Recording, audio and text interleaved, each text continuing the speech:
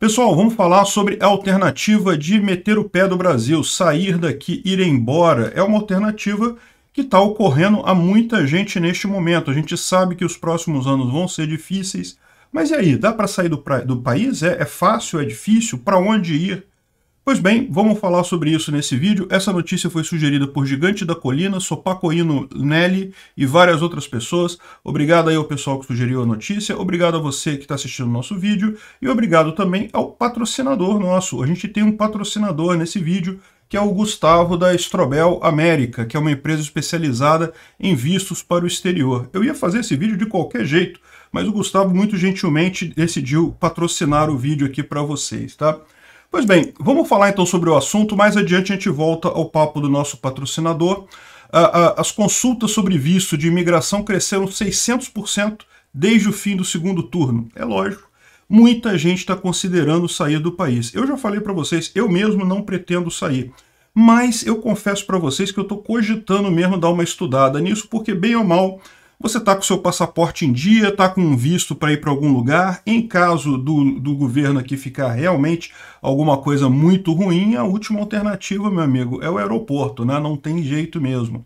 Isso é um ponto de vista libertário muito importante. Como eu falei para vocês, a minha visão de mundo, para onde nós estamos caminhando, é justamente a pessoa poder escolher qual governo que ela quer fazer parte. Ao invés de você ter eleição, você pode ter um monte de ditaduras por aí, você escolhe aquela que você quiser fazer parte dela. Desse jeito não tem problema. É muito mais fácil você escolher do que você ser obrigado a estar numa ditadura é, por estar num determinado país, numa determinada localização geográfica. Né? Uma forma que isso está acontecendo naturalmente é isso, as pessoas buscando países onde elas são mais bem tratadas, onde elas podem ir com mais tranquilidade. E aqui no Brasil entram, é lógico, entra um monte de conta. Nesse caso, não há uma resposta simples. Se você perguntar ah, para onde é o melhor lugar para sair nesse caso, não tem uma resposta simples, porque vai depender de um monte de fatores. Né? Por exemplo, aqui no Brasil, a maior parte dos, das consultas de visto de imigração são Estados Unidos e Portugal. Por que Estados Unidos e Portugal? Bom, o motivo dos Estados Unidos é justamente a, o vigor econômico. Os Estados Unidos é um país que, embora ainda tenha ali todo aquele resquício de socialismo e coisa e tal, já foi o país da liberdade completo, mas, né, sabe como é que é, já não é mais tão livre assim. Mas ainda assim, se você comparar com o resto do mundo, é um país muito livre, é um país em que você consegue emprego com muita facilidade, a, a taxa de desemprego lá está 3%, então muita gente quer ir para lá, é muito fácil criar um negócio, abrir um negócio lá nos Estados Unidos. Então, uh, esse é um país que realmente é, é, é um destino muito comum para brasileiros. Outro destino muito comum é Portugal. Portugal tem um monte de vantagens, principalmente é uma facilidade maior para quem é brasileiro de conseguir o visto é, de, de é, morador em Portugal. Portugal, eu não vou enganar vocês, não é assim muito melhor em termos de é, estatismo, em termos de socialismo, o governo lá é socialista também, mas você está na Europa, está com um visto que você pode andar para qualquer país na Europa, então já é um ganho em termos de liberdade econômica. Além, lógico, de Portugal ter a grande vantagem de ser a mesma língua que a gente.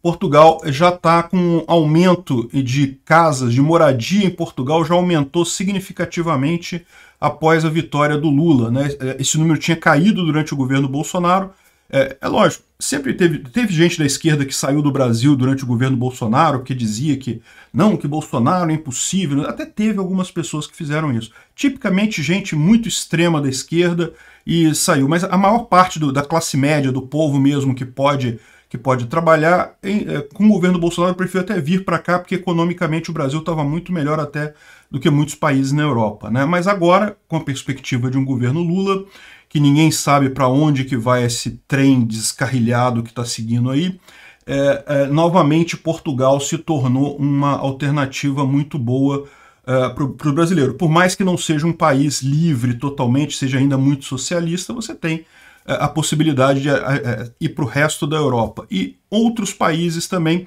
existem essa possibilidade. Mas vamos ver primeiro o recado do nosso patrocinador nesse vídeo, é curtinho. Oi pessoal, tudo bem? Aqui não é o Peter, aqui é o Gustavo Strobel. E eu resolvi patrocinar o canal dele, porque eu gosto muito das ideias dele e de como ele expõe elas, né? Mas eu vou falar para vocês um pouco sobre migração para Portugal e Estados Unidos. Poucas pessoas sabem, mas existem muitos vistos para ambos os países onde não há necessidade de investimento econômico. Por exemplo, nós temos nos Estados Unidos o visto B2NW, onde você precisa ter ensino superior e um projeto teórico de interesse para os Estados Unidos. Você também pode ir para os Estados Unidos com sua família e filhos se você for dono de uma empresa, quer abrir uma filial lá, ou se você ainda tem uma, uma, carreira, um currículo muito nobre, né? Você pode pegar o EB1A, por exemplo, né? Portugal já tem o visto D2 para pequenos empresários, você nem mesmo precisa alugar um, um, ponto comercial, basta abrir empresa. E também tem o visto D7, que é para quem vive de rendas próprias. Todo, ambos esses vistos você não precisa investir dinheiro pesado no país, né? Então, se você quer falar mais sobre o assunto, procura a gente aqui no site aqui embaixo, marca horário com a gente. Ou então, enche o saco do Peter aí pra gente fazer uma live aí num dos canais dele aí, pra gente falar mais sobre o assunto. Valeu, gente. Segue o vídeo. Pois é, pessoal, se você está na dúvida, se você sabe, se você não sabe se é para você, se você vai ter dinheiro ou não, entre em contato com o pessoal da Estrobel América, o link está na descrição do vídeo, os contatos estão todos ali, e aí você vê se de repente, mesmo que você não esteja planejando sair do Brasil imediatamente, mesmo que você ache que não, vamos ver, quem sabe, né? Quem sabe ainda a, a, o resultado da eleição ainda muda alguma coisa, coisa e tal, mas assim, é, é bom já ir preparando para essa alternativa última. Às vezes pode ser até mais acessível do que você imagina uma alternativa desse tipo, né? Lógico, existem outros países que podem ser considerados também. Por exemplo, aqui na América Latina, muita gente fala do Uruguai e do Paraguai. São dois países também que têm é, governos mais liberais nesse momento, não estão alinhados ao Foro de São Paulo. O grande risco é, aqui na América Latina, você sabe, a gente está há sempre é, poucos anos da, da, do comunismo completo. Né? O tempo todo o pessoal continua tentando implantar o comunismo na América Latina e, infelizmente, ao contrário do pessoal da esquerda mundial, que já abandonou aquela ideia de marxismo, né, de é, de uma comunidade, de um, de um governo controlador que controla tudo. Lá no exterior, a esquerda já é o pessoal mais liberal, já é o pessoal mais progressista. Aqui na América Latina, não. Aqui a esquerda é marxista, eles querem comunismo. Por mais que já tenha se provado inúmeras vezes que não funciona, que dá errado, que gera problema.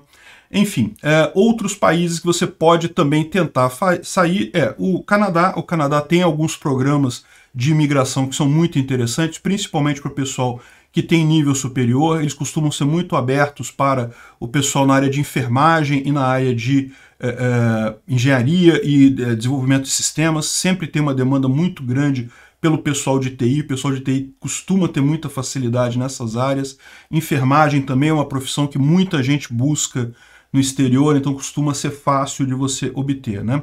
No Canadá tem uma outra coisa também, se você por um acaso fala francês bem, se você tem um curso de francês avançado, se você fala francês bem, existe um programa de imigração fácil ali para a região de Quebec, porque vocês sabem, o Canadá é um país bilíngue, tem muita gente que fala francês, mas eles estão sempre numa luta para não deixar o francês morrer, porque a influência dos Estados Unidos é tão grande que acaba o pessoal falando inglês a maior parte do tempo. Então eles têm muito incentivo para quem fala francês e quer imigrar para o Canadá. Então é uma dica aí para vocês, quem tiver interesse nesse sentido também, né? E é lógico, aquilo que eu falo para vocês, não espere nenhuma facilidade enorme, socialismo é socialismo no mundo todo, o Canadá também não está essa abertura toda, essa maravilha toda por aí. Bom, é, entram outras coisas também. Por exemplo, se você é descendente de japoneses, o Japão pode ser uma alternativa muito boa. É, é, o, a, a, sociedade japonesa é muito fechada. Então, se você não é descendente de japonês, é um pouco mais difícil você conseguir se integrar lá no Japão, mas também tem emprego com muita facilidade, também tem um grau de liberdade muito grande por lá. É o que eu falo para vocês, não existe uma resposta única para isso, entre em contato com o pessoal da imigração, veja qual é a melhor alternativa. Você pode começar o processo, pelo menos já está adiantado. Né? Se acontecer o pior, se realmente o Lula entrar com o ministério dele, Zé Dirceu, Rui Costa, Fernando Haddad, aquela turma toda, meu amigo, você já está com o seu passaporte já encaminhado, né? Obrigado por assistir o vídeo até o final. Além de curtir, compartilhar e se inscrever no canal, considere se tornar patrocinador com valores a partir de R$ 1,99 Clique no botão Seja Membro abaixo para saber as condições e vantagens de patrocinar o canal. Mais informações sobre o nosso projeto, visite nossos sites indicados na tela.